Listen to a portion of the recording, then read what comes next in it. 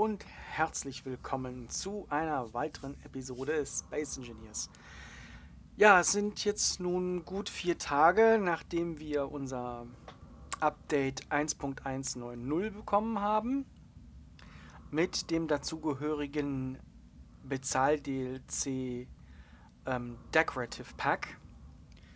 Und da wir ja in diesem Decorative Pack ein neues Cockpit bekommen haben, das Industrial Cockpit, habe ich mich gefragt, äh, wie können wir am besten daraus etwas Neues erschaffen, etwas, was besser passt. Und da fielen mir gleich Utility Crafts ein. Das bedeutet also so Mining- und Konstruktionscrafts, ähm, die wir für unsere Raumschiffe im Flottenverband oder im Hangar halt benutzen können. Und da fangen wir jetzt auch gleich am besten mal mit an. Ja, wir brauchen einmal unser HUD. Und unser Utility Craft. Oh, da haben wir jetzt hier schon in klein. So, einmal. Ne? Damit das auch wirklich schön aussieht hier, ist unser Cockpit. So, jetzt die Schiffssysteme. Also ich verwende gerne ein ähm, Oxygen Generator, weil damit beides hergestellt werden kann. Ähm, ein Oxygen Tank ist mir zu groß. Ähm, darunter packen wir dann auch gleich mal ein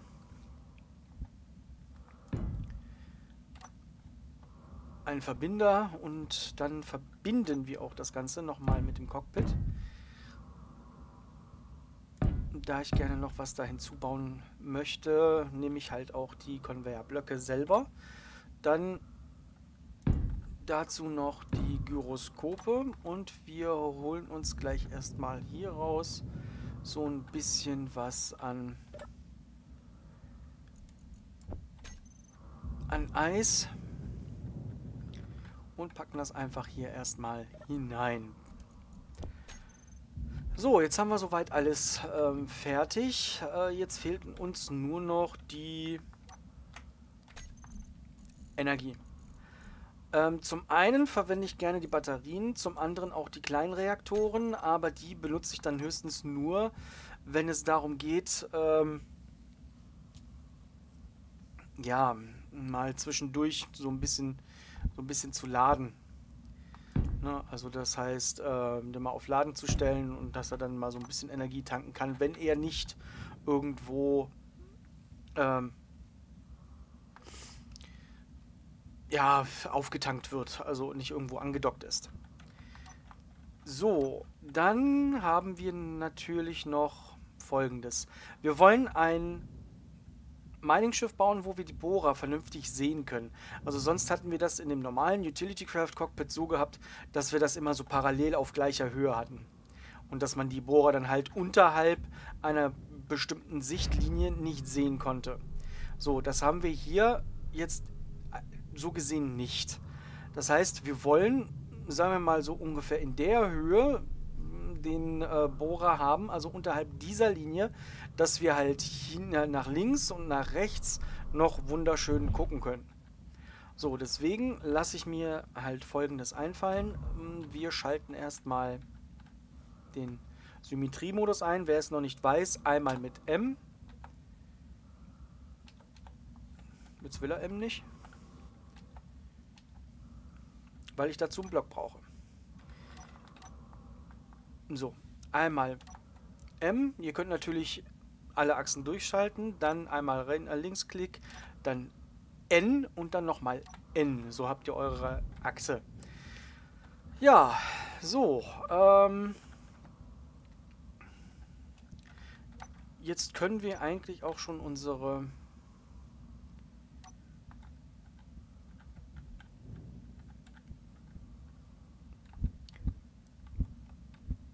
Container bauen.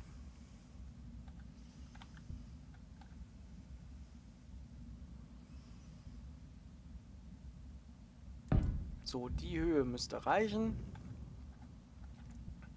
Und damit wir halt nicht zu viel Platz verschwenden. So.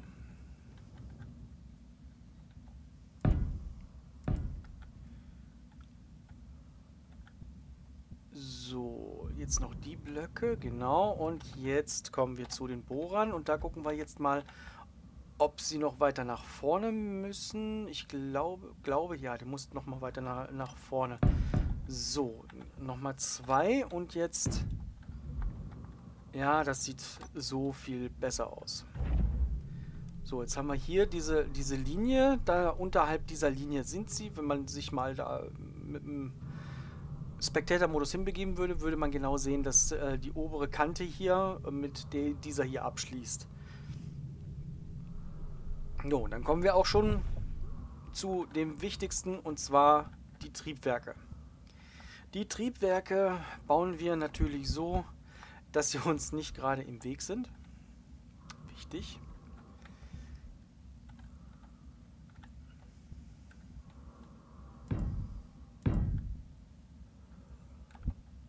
So, da sind sie natürlich im Weg. So, einmal da. Und jetzt einmal hier. So haben wir jetzt ähm, eine Bremsschub, äh, links, rechts. Und jetzt fehlt uns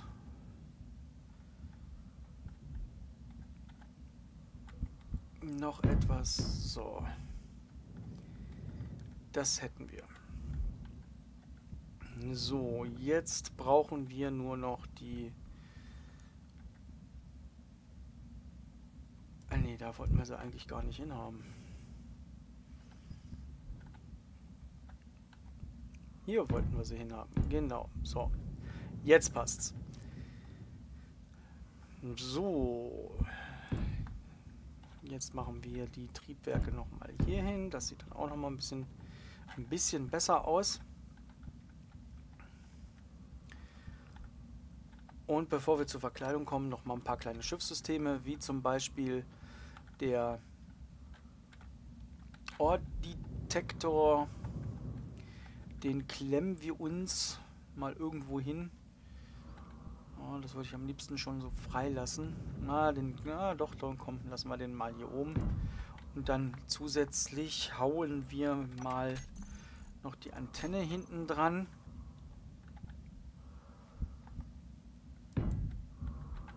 So, das wäre das. So, jetzt ist er im Endeffekt schon äh, fertig. Ähm, ihr könnt euch jetzt noch entscheiden, ähm, noch ein paar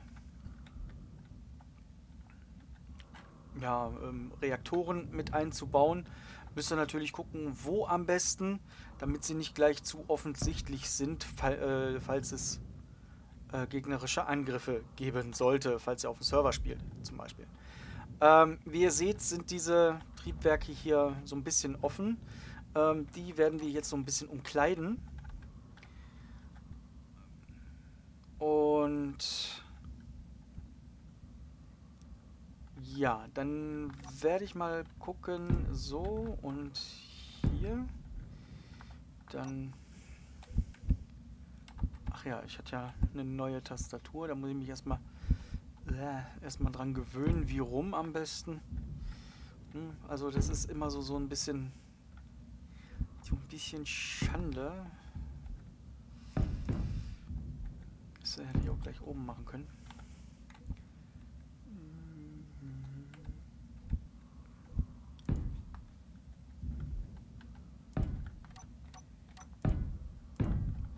So das sollte soweit ganz gut aussehen. Wir wollen halt kein äh, langweiliges Raumschiff bauen, ne? also kein, kein Block, ne? wie wir es öfters mal gesehen haben in den meisten Multiplayer-Spielen. Ähm, ja, also falls ihr das nicht machen wollt, dann schaut euch die Blöcke genauer an. Das ist so mein Tipp für alle Anfänger. Schaut euch die Blöcke an und äh, guckt, inwieweit ihr sie verbauen könnt oder äh, inwieweit ihr designtechnisch was rausholen könnt. So, jetzt, jetzt kommen wir halt zu dem nächsten, das Designtechnische. Da mache ich jetzt hier, ne, weil Könnte ja auch sein, dass es Atmosphärenflug gibt. Oder dass es in äh, Atmosphäre benutzt werden soll. Deswegen, ach Mensch. Ach Mann, immer muss man sich mit neuen Systemen aus, auseinandersetzen. Kann denn nicht mal alles so bleiben? Kann es nicht. Okay. So, und oh, das sieht soweit ganz in Ordnung aus. Jetzt haben wir hier noch so ein bisschen, so ein bisschen was. Ah, jetzt. So. Das können wir auch noch so ein bisschen umkleiden, verkleiden, damit es halt nach etwas aussieht. So, und äh, hier, genau.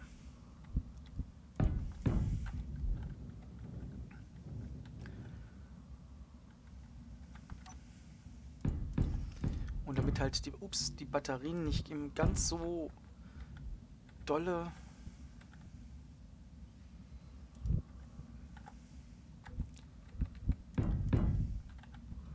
zu sehen sind.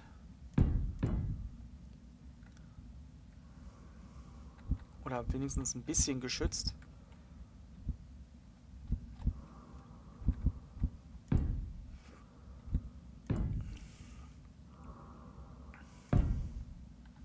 Machen wir hier einfach so ein kleines Kreuz hin. Das lassen wir frei, damit wir dann halt die Ladeanzeige noch sehen können von außen.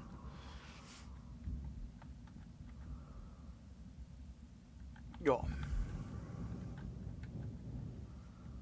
Na, die Batterien, die schützen wir auch mal. So, komm.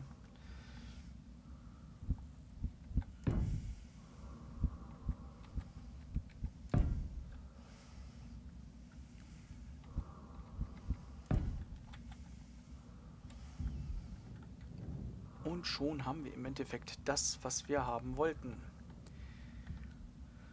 Ein gut geschütztes, für Anfänger geeignetes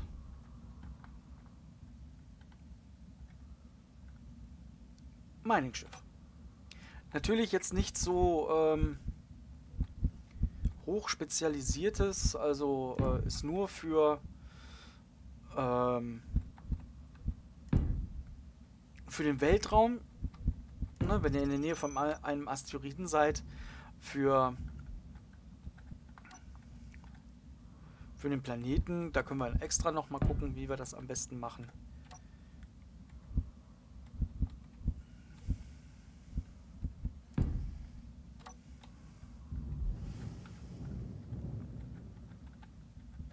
So sieht das gute Stück jetzt aus. Ich hoffe mal, das wird euch gefallen, wenn ihr es dann ausprobiert. Ich sehe gerade, hier könnte man noch mal ein bisschen was rausholen. No, so und hier. Das dürfte dann auch besser aussehen. Ja, das ist unsere kleine, ja, wie wollen wir es eigentlich nennen? Schreibt es in die Kommentare. Vielleicht habt ihr einen wunderschönen Namen für unser neues Mining Vehicle, Minecraft. So, Screenshot. Ich hoffe, ihr habt jetzt soweit gesehen, wie man am besten, ne, das war jetzt so im Schnelldurchgang mal, wie, äh, wie man auf, auf die Schnelle mal ein Utility Craft baut. Im Survival geht es ein bisschen langsamer. Ähm, da könnt ihr aber nochmal genauer überlegen, wie ihr was wohin baut. Auf dem Planeten ist es wieder ganz anders. Da müsst ihr ganz anders agieren mit den ähm, atmosphärischen Triebwerken. Das schauen wir uns aber demnächst mal an, falls ihr Bock habt. Ansonsten habt ihr natürlich noch die Möglichkeit, meinen Kanal zu abonnieren, mit dem kleinen Glöckchen zusammen klingeln, damit ihr auch immer schön informiert werdet, wenn ein neues Video hochgeladen wird oder ein Stream läuft. Ähm, ja, ansonsten war es das von mir für heute. Und dann wünsche ich euch noch alles Liebe, alles Gute, euer Lord Anubis.